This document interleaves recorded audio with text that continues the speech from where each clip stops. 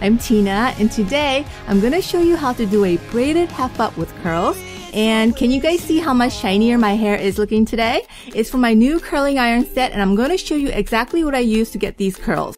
But first, I want to announce the winner of the Style House flat iron from the vanityplanet.com. So here it is. Big congrats to Evelyn on your new flat iron. Okay, so let's get started with the tutorial. After making a side part, grab a 4 inch wide section of hair and split it in 3 to start a Dutch braid. To Dutch braid, add in hair to the side strands before taking it under the middle strand. Add in hair to the left strand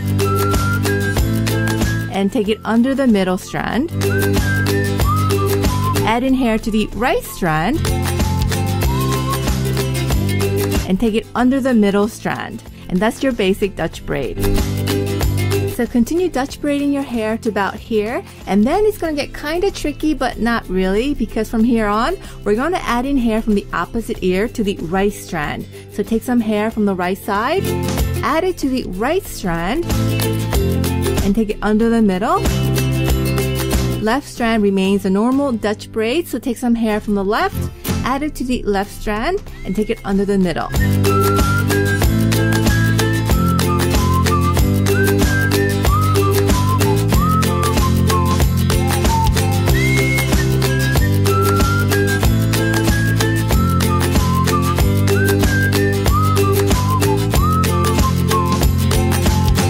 Stop the braid at the ear level and then tie it with an elastic band.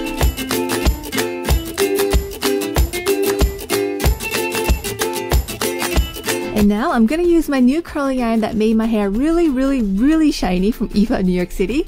I'm using the 32 millimeter barrel from the 4-in-1 curling iron set, but if you have short to medium hair length, use the second largest barrel.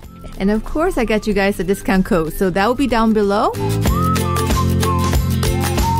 And we're done. Please be sure to like, subscribe, and leave me a comment down below with what other videos you want to see. And as always, thank you for supporting Makeup Wearables hairstyles. I love you guys.